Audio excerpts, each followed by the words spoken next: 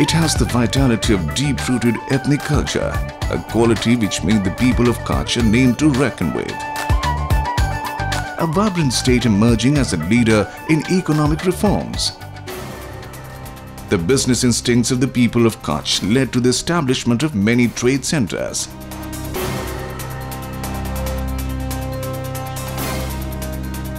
Kandla Port is one such example of their entrepreneurship. One of the most dynamic and enterprising port which has grown with time, creating new milestone at each step.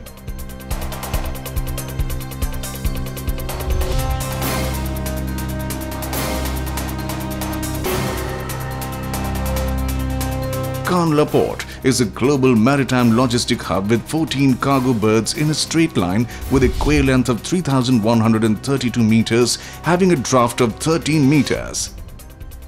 It is capable of accommodating ships up to 240 meters.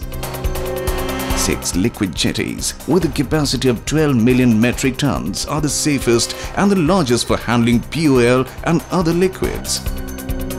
It has the largest storage tank farm in a single complex in Asia. A unique 2,600 metric ton steel floating dry dock caters to the repairs and maintenance requirements of the medium-sized vessels of the maritime community at the port. The vast open and covered storage capacity makes it easier to handle cargo for export and import. One of the unique features at this port is its two floating cranes which cater to its large ships anchored in the deep waters. Kandla Port provides free facility for shopping and internet services to the crew members of the ships that are anchored here. In fact, for this, they have been awarded as the best port by the International Maritime Organization. Kandla Port is easily accessible to the Middle East and European nations its location provides impetus to export and import requirements of northern India. Its tropical and dry climatic conditions helps in smooth and uninterrupted port operations around the year. Besides this, Kandla has no adverse wave effect because it is sheltered harbour being situated in the creek. Kandla port is ISPS compliant for the security of the ships and cargo, Port has inducted Central Industrial Security Force CISF. Patrolling by CISF by high-speed launches in the Kandla Creek has also added to the security of the vessels. All vessels are safely navigated round the clock in the harbour. It has safe and protected vast anchorage for waiting and lighterage at the outer harbour.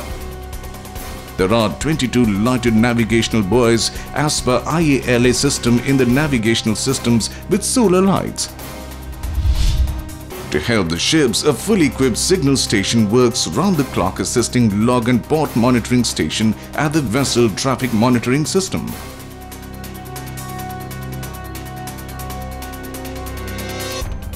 Is known for its lowest tariffs. It was possible by the measures taken by the port authorities. One of the most significant features is the transparent pricing policy. It has the lowest cost per ton amongst all major ports and non-major ports in India. It provides lowest crude handling rates, lowest vessel-related charges, lowest wharf charges and lowest storage charges. Along with this, there are other services which are offered without any payment. They are free services given to 15 days free period for export cargo, 8 days free period for timber log imports, 5 days free period for other import cargoes, 3 days free period each for export and import of hazardous cargoes. For any emergency, firefighting services are free of charge. It has one of the most comprehensive berthing policies. Kandla Port, in his journey of modernization, has not overlooked its social responsibility. A well-planned housing colony is having a gym, a sports stadium and a multi-utility hall. Besides this, a maritime institution has been established along with secondary school. Kandla Port Trust had commissioned the offshore oil terminal facilities at Vadinar in the year 1978. jointly with Messrs Indian Oil Corporation Limited by providing single buoy mooring system having a capacity of 54 million metric ton per annum which was first of its kind in India. A significant infrastructural upgradation has been effected and excellent maritime infrastructure has been created at Vadinar for the 32 million metric ton per annum Essar oil refinery in Jamnagar district. Indeed, Kandla port has emerged as a vibrant, world-class multi-cargo port, making it the driver of economic growth in the region.